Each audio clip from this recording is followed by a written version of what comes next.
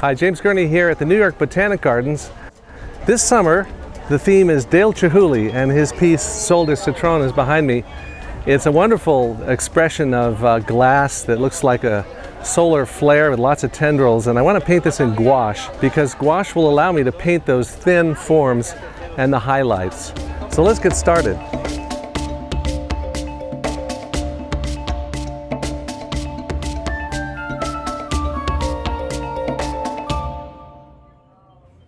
I'm sitting at my sketch easel.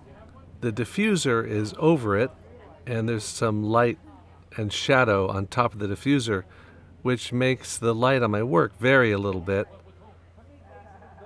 But the light's pretty good, and I'm out of the traffic a little bit. Well, I start with pencil in order to try to get some of the main lines of the picture. Okay, I have white, cerulean blue, Prussian blue, brilliant violet, yellow ochre, cadmium yellow light, and perylene maroon. I'll probably add cad yellow deep there. Are you doing a time lapse of you painting the thing? Not time lapse on this one, no. This is just a straight uh, video.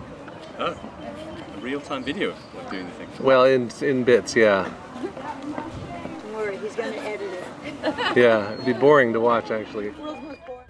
The whole painting takes about three hours altogether.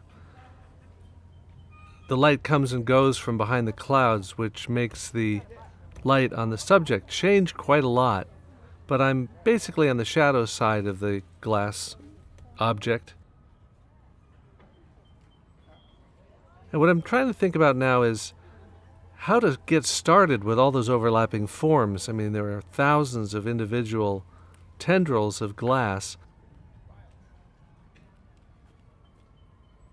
And what I want to do is just paint that dark green background behind the left hand edge and the bottom edge. And then start to use some gouache opaquely to suggest some of those tendrils over that background once it's dry.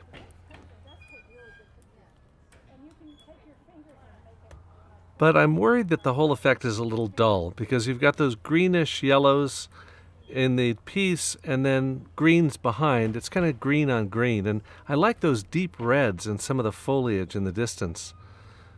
So if I surround this with deep, cool reds instead of those greens, I think it'll make the yellow come off more brightly since it's a complementary color.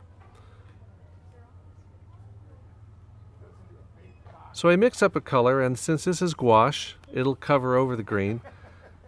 And I paint a little past all the edges of the tendrils and then come back and paint them again.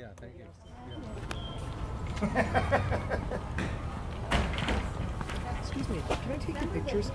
Oh, Okay, sure, that'd be you. fine. Yeah, thank you. Awesome. Yeah, that'd be great. so.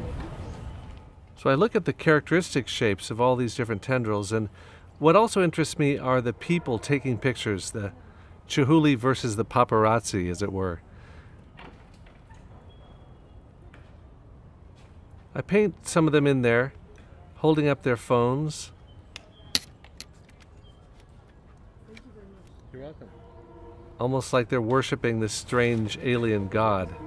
Oh, thanks. Can I see yours too? Sure, thank you. Oh, I love it. Awesome, just beautiful. May I look? Look at Yeah, sure. It's gorgeous. It's just I'm working in uh, in opaque watercolor, which is uh, like watercolor, but you can get you can do light over dark, which is nice for those tendrils. I do too. That one's particularly beautiful. Thank you so much for sharing your Oh, you're very welcome. Sure. Yes.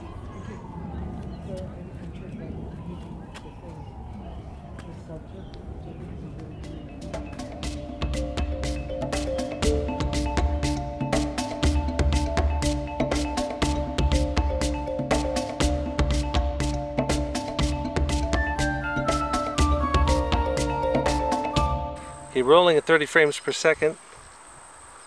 Here we go. Here goes the motor. Not very steady. Cut.